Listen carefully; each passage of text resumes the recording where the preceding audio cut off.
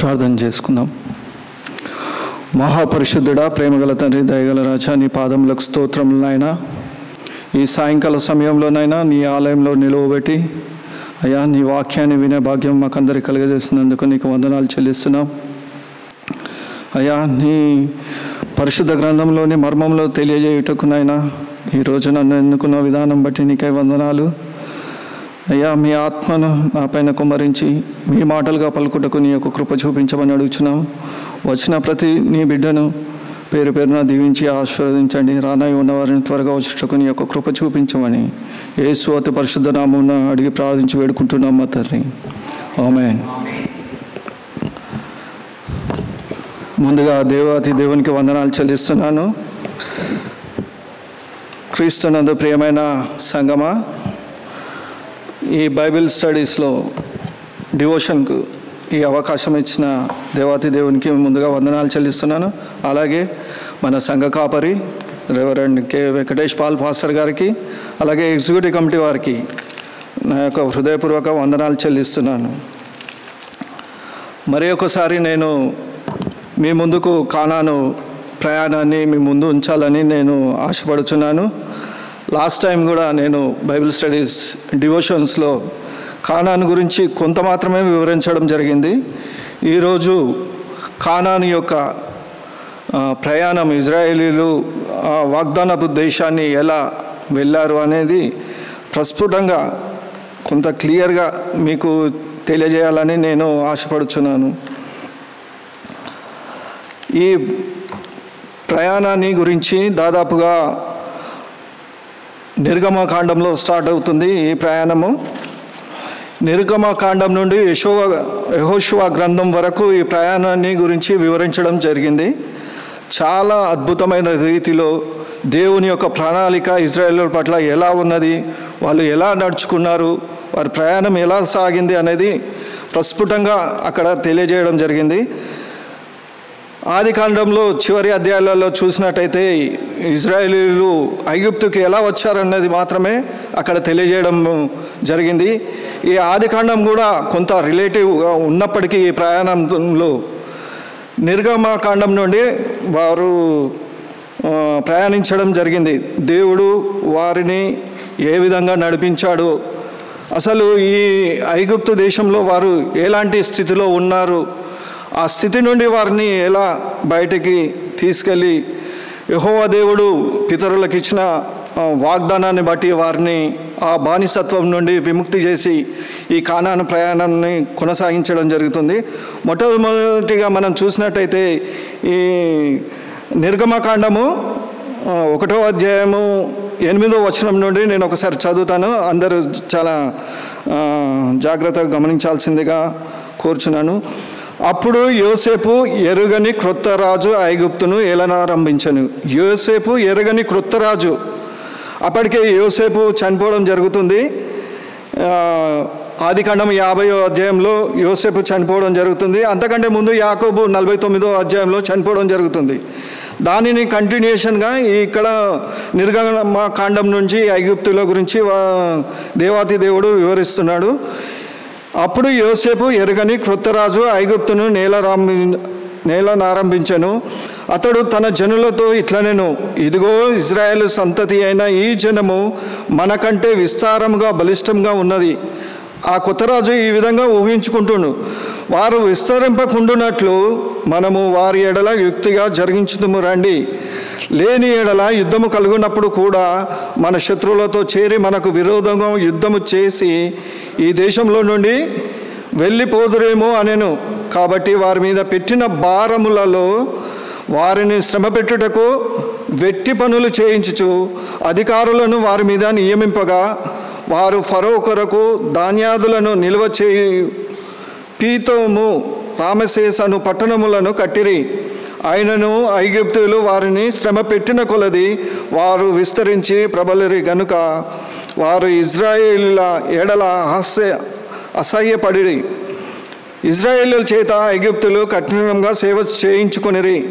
వారు ఇజ్రాయేలుల చేత చేయించుకొనిన ప్రతి పనియు కఠినముగా ఉండెను. వారు జిగటమంటి పనిలోను ఇటుకల పనిలోను పొలములో చేయు ప్రతి పనిలోనూ కఠిన సేవ చేయించి వారి పా ప్రాణములను విసిగించిరి. ఇక్కడ తెలియజేస్తున్నాడు ఇజ్రాయిలుల వారి వారి యొక్క బానిసత్వాన్ని చాలా క్లారిటీగా ఎక్స్ప్లెయిన్ చేయడం జరిగింది. వారిని ఏ విధంగా హింసిస్తున్నారు అనేది జరిగింది. ఈ ఇజ్రాయేళ్ళకు యెహోవా దేవుడు పితరులకు ఇచ్చిన వాగ్దానాన్ని ఆయన గుర్తు చేసుకొని ఈ బానిసత్వం నుండి విమోచించడానికి ఒక నాయకుడు అనేవాడు ఉండాలి అనేది దేవుడు అప్పుడు అనుకున్నప్పుడు రెండో గ్రంథంలో నిర్గమాకాండం రెండో అధ్యాయంలో మోషను ఒక బాలుని జన్మ జన్మించడం జరుగుతుంది. ఆ బాలుడు రా ఐగుప్తులోని రాజు రెండు సంవత్సరాల బాలును ఎవరైతే ఉన్నారో మగపిల్లలను చంపాలనే ఆజ్ఞ అక్కడ కూడా వారు వినిపిస్తారు. ఎవరైతే టూ ఇయర్స్ లోపల ఉన్న మగవారు మాత్రమే అక్కడ చంపాలని ఆ రాజు నిర్ణయం తీసుకున్నప్పుడు మోష జన్మించిన రీతి కొన్ని నెలల తర్వాత ఆ బాలుని వాళ్ళ తల్లి జమ్ముపేటలో పెట్టి ఆ నది ఓటిన నదిలో పంపించడం జరుగుతుంది. అప్పుడు ఫరో కుమార్తె ఆ నదిలో స్నానం చేయడానికి తన పనికత్తెలతో వెళ్ళినప్పుడు ఆ జమ్ము పెట్టే అక్కడ కనబడడం జరుగుతుంది. ఆ జమ్ము పెట్టె ఓపెన్ చేసినప్పుడు అందులో ఒక చిన్న బాలుడు ఉన్నాడు. ఆ బాలుడే మోషే. అయితే దేవుని ప్రణాళిక అంత ఇజ్రాయేల్ పట్ల ఆ విధంగా ఉన్నది. వారిని బానిసత్వంలో నుండి విడుదల చేయడానికి మోషను ఎన్నుకున్న తీరు అక్కడ మనకు కనబడుతున్నది. నిర్మకాండము మూడో అధ్యాయంలో ఈ విధంగా రాయబడి ఉన్నది ఇజ్రాయేలీలు తాము చేయుచున్న వెట్టి పనులను బట్టి నిట్టూర్పులు విడుచుచు మొరపెట్టుచుండగా తమ వెట్టి పనులను బట్టి వారు పెట్టిన మొర దేవుని యొద్దకు చేరెను. వారు దేవునికి మొర పెడుతున్నప్పుడు వారి మొర దేవుని యొద్దకు చేరిందట. కాగా దేవుడు వారి మూలుగులను విని వారు చేయుచున్న మొరలను విని వాళ్ళు మూలుగలను విని అబ్రహాము ఇస్సాకు యాకోబు. అప్పటికే వీరు ఉండరు. అబ్రహాము ఇస్సాకు యాకోబులు ఆది కాండంలో చనిపోవడం జరుగుతుంది. అబ్రహాము ఇస్సాకు యాకోబులతో తాను చేసిన నిబంధనను జ్ఞాపకం చేసుకునేను. దేవుడు ఇజ్రాయేల్ పట్ల వారి పితరులకు ఇచ్చిన వాగ్దానాన్ని జ్ఞాపకం చేసుకున్నాడంట. ఎంత అద్భుతమైన మాటలు ఇక్కడ వివరించడం జరుగుతుంది. అదేవిధంగా నిర్మ నిర్గమకాండము మూడో అధ్యాయం పదిహేడవ వచనంలో ఈ విధంగా రాయబడి ఐగుప్తు బాధలో నుండి పాలు తేనెలు ప్రవహించు దేశంనకు అనగా కానానీయులు హితీయులు అమోరీలు పెరిజీలు హివ్వీలు యోబిసీలు ఉన్న దేశమునకు మిమ్మల్ని రప్పించదనని సెలవిచ్చుతానని వారితో చెప్పుము. మోషకు వీరిని ఎక్కడి నుండి ఆ బానిసత్వం నుండి ఎక్కడికి తీసుకువెళ్తాడో ఇక్కడ చాలా క్లారిటీగా వివరించడం జరిగింది. అదేవిధంగా నిర్మ నిర్గమకాండము ఆరో అధ్యాయంలో రెండో వచనంలో ఒక మాట అక్కడ వ్రాయబడింది. మరియు దేవుడు ఇట్లా మోషతో నేను ఇట్లా నేను నేనే యహోవాను. నేను సర్వశక్తి గల నేను సర్వశక్తి గల దేవుడను. పేరును అబ్రహాము ఇస్సాకు యాకోబులకు ప్రత్యక్షమైతిని కానీ ఇక్కడ ఏమంటుండే నేను సర్వశక్తి గల దేవుడను. పేరును అబ్రహాము యహోవాని అక్కడ వాడబడట్లేదు. నేనే సర్వశక్తి గల దేవుడును పేరును అబ్రహాము ఇస్సాకు యాకోబులకు ప్రత్యక్షమైతిని. యహోవాను నా నామము నేను వారికి తెలియబడలేదు అంటాడు. చాలా జాగ్రత్తగా ఈ సెంటెన్స్ మనం గమనించాలి. అప్పటికే యహో అనే దేవుడి నామము వారికి తెలియబడలేదట. మరియు వారు పరవాసము చేసిన దేశమగు కానాను దేశం నుండి వారికి ఇచ్చుటకు నా నిబంధన వారితో స్థిరపరిచితిని అంటాడు. చాలా క్లారిటీగా వారికి తెలియజేస్తున్నాడు. నేనే సర్వశక్తి గల దేవుడనని మీ పితరులకు మాత్రమే తెలుసు. ఇక్కడ నువ్వు మోసతో చెప్తున్నప్పుడు నేను యహోవాను నామమును వీరికి ప్రత్యక్ష తెలియజేయడానికి మిమ్మల్ని ఎన్నుకున్నాను. ఐగిప్తులు దాసత్వమునకు లోపరిచి ఉన్న ఇస్రాయేళ్ళ మూలుగులను విని నా నిబంధనను జ్ఞాపకం చేసుకొని ఉన్నాను అంటాడు. పితరులకు ఇచ్చిన వాగ్దానాన్ని ఎట్లాగైతే ఆ దేశాన్ని వీరికి ఇస్తానే అని ఆ దేవుడు అన్నాడో ఆ మూలుగులను వారి నుండి విని ఆ దేశాన్ని ఆ ఇజ్రాయేలుల మూలుగులు విని ఆ నిబంధనను జ్ఞాపకం చేసుకొని అంటాడు. ఆ విధంగా దేవుడు ఇజ్రా ఇజ్రాయిళ్ళను కానానికి ప్రయాణంలో నడిపిస్తాడు. ఆ నడిపించడానికి ఇజ్రాయిల్ పట్ల దేవునికి ఉన్న ఒక ప్రణాళిక ఆ ప్రణాళిక ఏంటో మనము ఒకసారి గమనించినట్లయితే నిర్మగ కాండము నిర్గమ కాండము పదమూడో అధ్యాయము ఏడో వచనంలో ఒక మాట పదిహేడో వచనంలో ఒక మాట రాయబడి ఉంది అది. ఆ నిర్గమ కాండము ఒక్క నిమిషం నిర్గమ కాండము ఆ కానాను ప్రయాణంలో దాదాపు ప్రయాణించడానికి ఫిలిస్తీన్ల దేశం మీదుగా పోవడానికి దాదాపు ఐదు వందల కిలోమీటర్లు మాత్రమే ఉంటుంది. అదే కా మహా అయితే పన్నెండు నుంచి పదిహేను రోజుల సమయం మాత్రమే పడుతుంది. అట్టిది ఆ సమయాన్ని దాదాపుగా నలభై సంవత్సరాలు ప్రయాణించడానికి వారికి దేవుడు వారి వాళ్ళ పట్ల ప్రణాళిక రూపొందిస్తాడు అదే చెప్తాడు. ఆ ప్ర- ఫిలిస్తీన్ల దేశం కూడా ఎందుకు వెళ్ళనీయలేదంటే నిర్గమ నిర్గమకాండము పదమూడవ అధ్యాయం పదిహేడవ వచనంలో ఒక మాట రాయబడింది. ఈ ప్రజలు యుద్ధము చూచినప్పుడు వారు పశ్చాత్తాపడి ఐగుప్తునకు తిరిగి పోదురేమో తిరుగుదురేమో అనుకొని ఫిలిస్తీన్ల దేశము సమీపము సమీపమైనను ఆ మార్గమున వారిని నడిపింపలేదు అంటాడు. ఫిలిస్తీన్ల దేశం నుండి వెళ్ళడానికి చాలా అతి దగ్గరలో ఉన్నది ఆ కానాను ప్రదేశం. అయినా కానీ వాళ్ళు ఫిలిస్తీన్లు ఈ ఐగుప్తు ఇజ్రాయిల్ మీద యుద్ధము చేస్తారేమో ఆ యుద్ధానికి భయపడి వీరు వెనుక తిరిగి మరీ ఆ బానిసత్వంలోకి వెళ్ళిపోతారేమో అని దేవుడు అనుకొని వారిని ఆ ఫిలిస్తీన్ల మార్గం గుండా వారిని ప్రయాణింపకుండా చేస్తాడు. అదేవిధంగా పదిహేనో అధ్యాయ పదిహేను వచనంలో ఇంకో మాట రాయబడినది.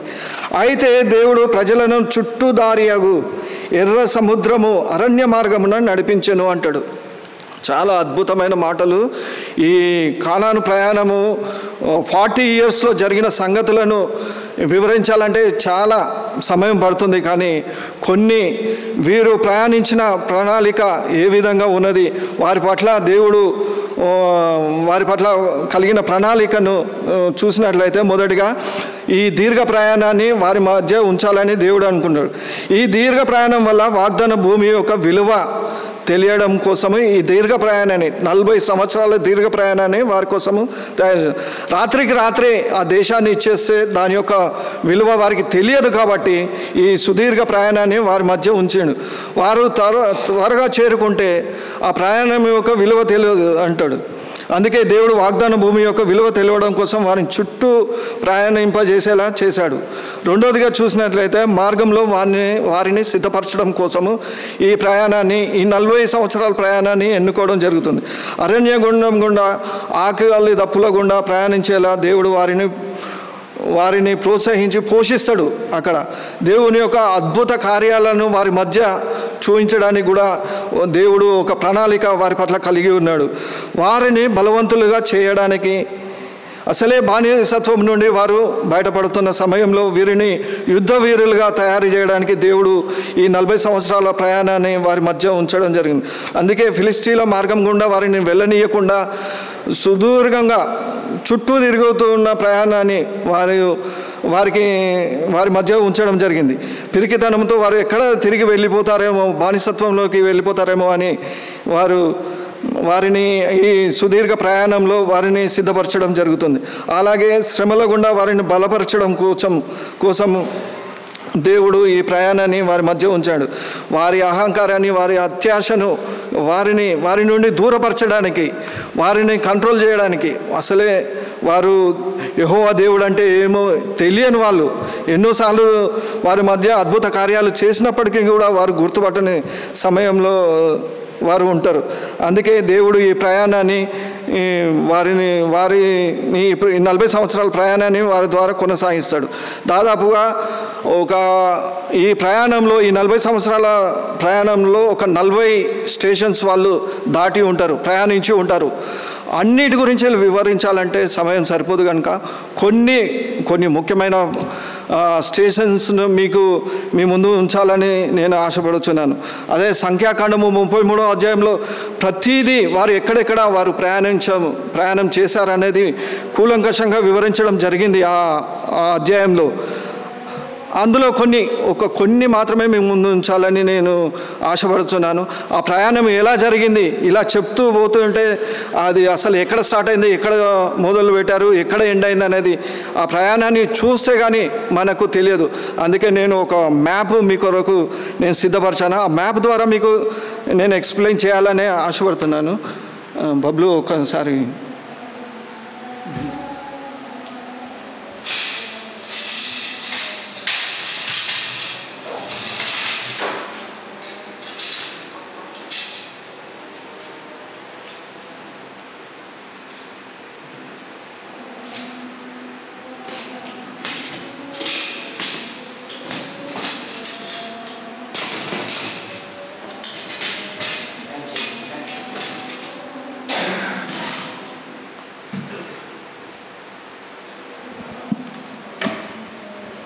ఇది ఐగుప్తు నుండి కానానికి ఇజ్రాయేలుల ప్రయాణం. ఈ విధంగా సాగింది. నలభై సంవత్సరాల సుదీర్ఘ ప్రయాణం అండి. ఇక్కడ నుండి నేను ఇంత ముందుకే చెప్పిన విధంగా ఇంత ముందుకే నేను చెప్పిన విధంగా ఫిలిస్తీన్లకు సమీపమైనప్పటికీ కూడా వారు ఈ మార్గం కూడా వెళ్ళడం దేవుడు వారికి సహాయం చేయలేదు. ఈ ఫిలిస్తీన్లు అసలే ఇజ్రాయేల్ మీద కొంత అసహనంతో యుద్ధం చేయాలనే కోపంతో ఉన్నప్పటికి కూడా ఒకవేళ వీళ్ళతో యుద్ధం చేస్తే ఈ ఫిలిస్తీన్లతోటి యుద్ధం చేస్తే వారు ఎక్కడ వెనుకకు తిరిగిపోతారేమో అని. కేవలం పన్నెండు నుండి పదిహేను రోజుల సమయం మాత్రమే పడుతుంది ఇక్కడికి. అలాగా కాకుండా నలభై సంవత్సరాల ఈ సుదీర్ఘ ప్రయాణాన్ని ఈ విధంగా వారు ప్రయాణించడం జరిగింది. ఫస్ట్ రామశేష్ నుండి వారు ప్రయాణం ప్రారంభించడం జరుగుతుంది. నిర్గమకాండం పన్నెండవ అధ్యాయంలో ఇది క్లారిటీగా ఉంటుంది. ఇజ్రాయేలు రామశేష్ నుండి బయలుదేరి సుక్కోత్లో దిగుతారు. ఫస్ట్ స్టేషన్ వాళ్ళు సుక్కోత్కు రావడం జరుగుతుంది. ఈ సుక్కోత్ నుండి వారు బయలుదేరి అరణ్యము కడనున్న ఏతాములో ఏతాము అనే ప్రాంతంలో వారు దిగుతారు.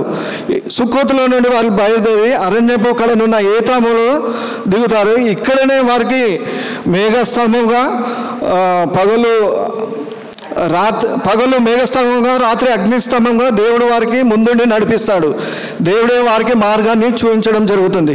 ఈ ఏతాం నుండి వారు బయలుదేరి పీహా హీరోతో అనే మ- దగ్గరికి వారు బయలుదేరుతారు. పీహా ఇక్కడనే ఎర్ర సముద్రమును రెండు పాయాలుగా చేసి దేవుడు ఆ మార్గం నుండి వారిని ప్రయాణింపజేస్తాడు. ఇక్కడ నుండి వారు బయల్సేఫోను అక్కడి నుండి దాదాపు మారా ఈ పిహా హీరోతు నుండి మారా అనే ప్రాంతానికి వారు వస్తారు. పిహా హీరోతు ఉన్న బయలుదేరి ఎర్ర సముద్రము నుండి మధ్య నుండి అరణ్యములోనికి చేరి ఏతాము అరణ్యమందు మూడు దినములు ప్రయాణం చేస్తారు ఇక్కడనే వారు. వారు మారాలో దిగుతారు. ఇక్కడ మనకు అందరూ తెలిసిందే ఈ మారలో నీళ్ళని చేదుగా ఉంటాయి. ఇక్కడనే దేవుడు తన ప్రత్యక్షతను తన యొక్క పరిశుద్ధతను వారికి తెలియడం కోసం మారా అనే నీళ్ళను మధురంగా మార్చి వారికి వారి దాహాన్ని తీరుస్తాడు. ఈ మారా నుండి డైరెక్ట్గా ఏలింపు వస్తారు వాళ్ళు. మారాలో కొంతకాలం ఉన్ ఉన్నా కూడా అక్కడి నుండి బయలుదేరి ఏలీమునకు వస్తారు. ఏలీంలో మనం బైబిల్లో చాలా క్లారిటీగా అక్కడ రాయబడి ఉంది. పన్నెండు నీట బుగ్గలు డెబ్బై ఈత చెట్లు ఉంటాయని ఆ ఏలీంలో అక్కడనే రాయబడడం జరిగింది. ఈ ఏలీము నుండి సీను అరణ్య ప్రాంతమునకు వారు వస్తారు. అక్కడ ఆహారం దొరకగా వారు వండుకోవడానికి చాలా ఇబ్బంది పడుతుంటాడు. అప్పుడే దేవుడు మన్నాను కురిపించడం జరుగుతుంది. వారికి సమృద్ధిగా ఆహారాన్ని పరలోకం నుండి వారికి దయచేస్తారు. ఇక్కడ నుండి దాదాపు రెఫీదింకు వస్తారు వీళ్ళు ఇక్కడ. సీను అరణ్య ప్రాంతం నుండి బయలుదేరి రెఫీదీంలో దిగుతారు. ఈ రెఫీదీము అరణ్యంలో యుద్ధము చేస్తారు. యుద్ధము గెలుస్తారు కూడా. అక్కడే యహోవా కొరకు ఒక బలిపీఠమును వారు కడతారు. ఈ బలిపీఠంకు యహోవా నిస్సి అని పేరు పెట్టడం జరుగుతుంది. ఈ రెఫీదిము నుండి బయలుదేరి వారు సీనాయి అరణ్య ప్రాంతంకు వస్తారు. రెఫ్యూజ్ నుండి బయలుదేరి సీనాయి అరణ్య ప్రాంతంకి వస్తారు. ఇక్కడనే ఎదురుగానే ఉంటుంది సినాయి కొండ. ఈ కొంతకాలం ఈ ఈ పర్వతం మీద ఈ సినాయి కొండ మీద ఉంటారు వారు ఉండడం జరుగుతుంది. మోషే ఈ సినాయి కొండ మీద నలభై రోజులు గడపడం కూడా మనం చూస్తుంటాం. ఎన్నోసార్లు విన్నాము. ఇక్కడనే దేవుడు మోషకు పది ఆజ్ఞలు ఇవ్వడం జరుగుతుంది. ఆ ఆజ్ఞలను పట్టుకొని సినాయి మళ్ళీ కొండ దిగుతాడు వారి మధ్యకు మళ్ళీ వస్తాడు. ఆ ఆజ్ఞల గురించి వెళ్ళి ఎక్స్ప్లెయిన్ చేయడం జరుగుతుంది. ఇక్కడనే దేవుని యొక్క ప్రత్యక్షను వారికి తెలియజేయడం కొరకు ఇక్కడ ఒక ప్రత్యక్షపు గుడారాన్ని వారు కట్టడం జరుగుతుంది. వారు అక్కడనే చాలా రోజులు ఆ అరణ్య ప్రాంతంలో ఉండడం జరుగుతుంది.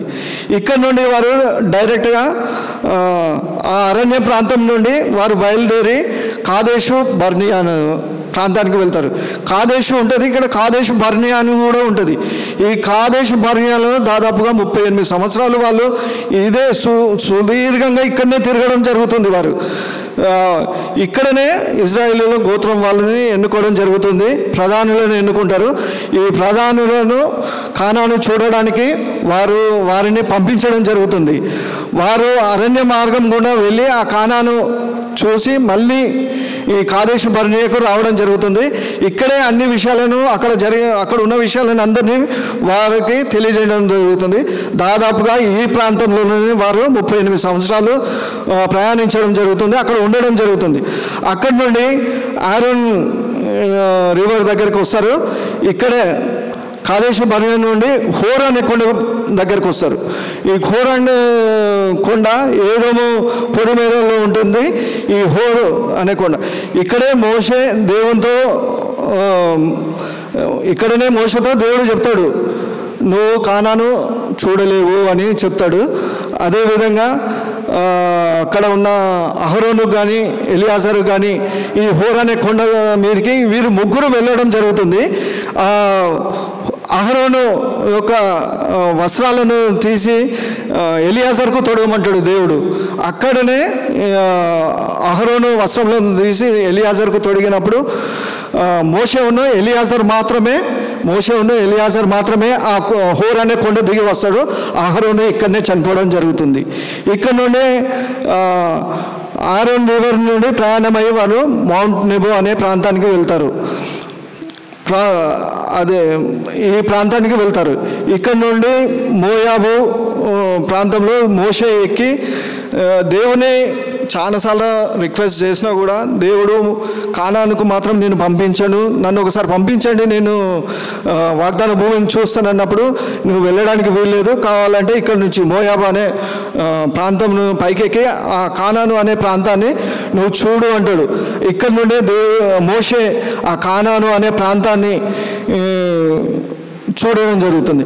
ఇక్కడ నుండి మోయాబు మైదానం నుండి వారు తిరిగి వెళ్ళి జోర్దాన్ రివర్ ఈ నదీ ప్రవాహం కూడా వారు ప్రయాణించడం జరుగుతుంది. ఇక్కడ కూడా దేవుడు అద్భుతమైన రీతిలో తన అద్భుతాన్ని చేయడం జరుగుతుంది.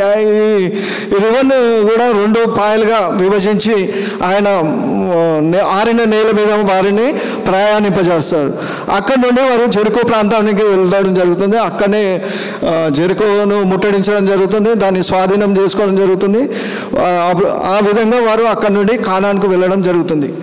ఈ నలభై సంవత్సరాల ప్రయాణంలో దాదాపుగా అద్భుతమైన రీతిలో ఎన్నో అవి ఎన్నో దీంట్లో దేవుని యొక్క సత్యాలు వాక్యం వచనం వెంబడి వచనము చదివినట్లయితే వారికి చాలా క్లారిటీగా మనకు అర్థమవుతుంది. మా వా దేవుని కొన్ని అద్భుతమైన వాళ్ళకు వండుకోవడానికి ఆహారం దొరికినప్పుడు ఆకాశం నుండి కురిపించినప్పుడు మాంసం ఇచ్చినప్పుడు వాళ్ళ పండ్ల సందులలో కూడా వెరుకుతాయి అని తెలియజేయడం జరుగుతుంది. ఎంత అద్భుతమైన మాటలు అక్కడ వాడబడడం జరిగిందంటే అది తిన్నాక కూడా నాసిక రంధ్రంలో నుండి బయటికి వస్తాయని. ఎంత క్లారిటీగా చెప్పడం జరుగుతుంది. అద్భుతమైన వాక్యం వచనం వెంబడి వచనము. యహోశివ గ్రంథం వరకు మనము నిర్గమకాండం నుండి యహోశివ వరకు చదువుకున్నట్లయితే దేవుడు చాలా ఎన్నో అద్భుతాలు ఎన్నో యుద్ధాలు ఎన్నో ఇజ్రాయేల్ పట్ల వాళ్ళకు వాళ్ళను కానాను ప్రదేశానికి నడిపించడానికి ఆయన చేసిన వాగ్దానాన్ని నిలబెట్టుకోవడానికి వారిని తీసుకెళ్ళడం జరుగుతుంది. ఈ చివరిలో మో మోష చనిపోయినప్పుడు కూడా యహోషువాకు వారికి నాయకత్వాన్ని వహించడానికి వారు ఎన్నుకోవడం జరుగుతుంది. యహోషువాకు కూడా దేవుడు అద్భుతమైన రీతిలో మోషకు తోడై ఉన్న రీతిగా నేను కూడా నీకు తోడై ఉంటానని వాగ్దానం చేస్తాడు. ఎంత అద్భుతమైన మాటలు నువ్వు నడుచు మార్గం అంతట్లో నేను నీకు తోడై ఉంటానంటాడు రియల్గా ఈ ప్రతి వచనం ఇవ్వడు వచనం చదువుకుంటే మనకు మన కళ్ళ ముందటనే అది కన్స్ట్రక్షన్ జరుగుతున్నట్టు. ఆ సీన్స్ అన్ని అద్భుతమైన రీతిలో దేవుడు చేసిన గొప్ప కార్యాలు మన ముందు ఉంచడం జరుగుతుంది. ఇది ఎందుకు మనము నేను చెప్పొచ్చు రామశేష్ నుండి సుఖోత్ పోయిన సుఖోత్ నుండి ఏతో పోయిన అంటే ఎట్లా వెళ్ళిందో మనకు తెలియదు. ఒక ఈ మ్యాప్ చాలామంది చూసి ఉండరు మన బైబిల్ చివరిలో కూడా దీన్ని ముద్రించడం జరిగింది. ఇలా ఒక్కసారి మీ ముందు ఉంచినట్లయితే నేను మీకు ఎప్పుడైనా ఈ కానాను ప్రయాణాన్ని గురించినప్పుడు ఈ సీన్ మీకు అర్థమవుతుందనే రీతిగా నేను దీన్ని తయారు చేయడం జరిగింది. ఇది మా చిన్న కుమారుడు చాలా హెల్ప్ చేసింది డిజైన్ అంతా వాడే వేయడం జరిగింది. అందుకు మీకు ఈ ప్రయాణాన్ని గురించి ఈ విధంగా జరగడం జరిగింది. దేవుడు మరి ఒకసారి నేను వందనాలు చెల్లిస్తున్నాను. ఈ అవకాశం ఇచ్చిన సంఘ కాపరి గారికి అలాగే స్వీటీ కమిటీ వారికి ప్రత్యేకంగా వందనాలు చెల్లిస్తున్నాను. థ్యాంక్ యూ పాస్టర్ గారు.